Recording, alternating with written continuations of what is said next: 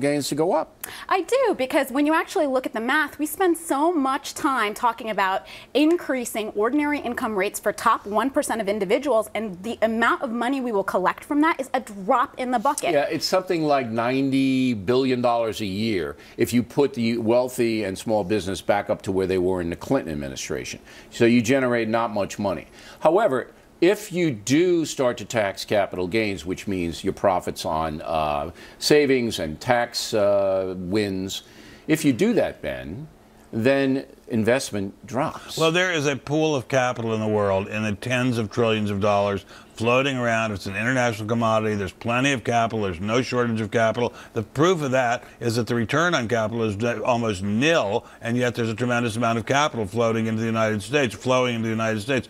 And $90 billion may seem like very little to you, and I must say I'm, I'm impressed at your earnings if 90 billion seems like very little to you, but uh, try to cut 90 billion out of social welfare spending. You're not going to find I, it easy I, I agree with you. Very difficult to do that. But, but if you start to constrict investment into the United States. We're not if, going to. Well, Nobody's if you raise the capital gains, you certainly will. Well, that, no, no, we won't certainly do that. We had much higher capital gains rates than that during the 40s, 50s, 60s, yeah, early 70s. It's a but very we had a competitive we world had now. Huge, we had huge amounts of capital flowing. Uh, let me just tell you from my point of view. I'm an, uh, an investor and I have a portfolio. If, if capital gains goes to 25, 30 percent, I'm not going to invest in that. I'll why? buy municipal why bonds. Would, what is, what's your no, alternative? No, you, you, would own municipal bonds that are yielding two or three percent. No, you get a little higher on that. Capital gains. I mean, if you have a good, if you have, even if you're in mutual, in, in spiders, even if you're in index funds, you're likely to get seven, eight, nine percent. You give away a third of that in tax, you're still doubling the return. But there's a risk in these though. investments. The numbers are very meaningful, though. Like, let's take a step back. If you were to actually tax a dollar made in the stock market or a dollar made with your real estate the same way as a dollar made in a factory,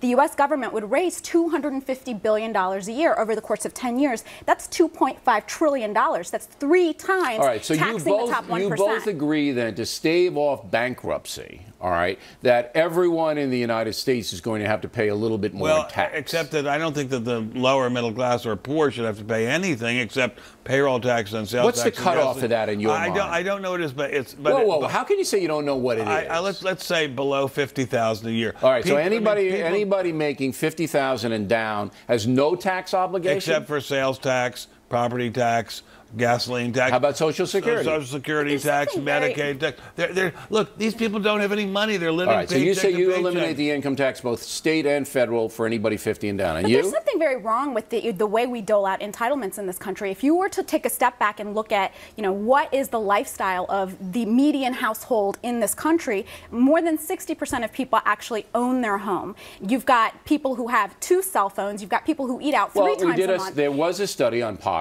those living below the poverty line. Most have air conditioning, most have cell phones, most have big color TVs. So this isn't Zimbabwe here, all right? But I don't know, I'm a little shaky on you guys. I think the economy, the U.S. economy, if you raise taxes, which Barack Obama wants to do, all right, that that's going to harm the economy. Well, the it's way not he wants going to to stimulate raise, the, the economy. way he wants to raise taxes is actually how it's going to harm the economy because we're focusing on ordinary income, and ordinary income is just the average guy working. It's the small business that's barely also pulling the doctor, money. the surgeon working in the investment bank, or sometimes working. Look, we have had much higher, much higher tax rates than we have now, and we've had phenomenal prosperity. I'd rather tax eliminate the not, loopholes and, and do it do you think there's going to be enough in the loopholes? What, what loopholes? What- what loophole- amazing- if you if you cap, What you, loophole would you eliminate? I, I just put a cap on them. I, it, just like Romney there said already in the is a cap on the main loop. The main Fifty loophole- thousand bucks. That's all you can write off, and then everybody else pays. We need to it like re-engineer I the think that would- entire that'd tax code, like and I don't know under what Oh, I agree. physics. I think the whole tax code should be much more self, uh, much easier, and I think there should be a national sales tax just to pay Medicare, small one. All right, very interesting. Uh, next on the rundown.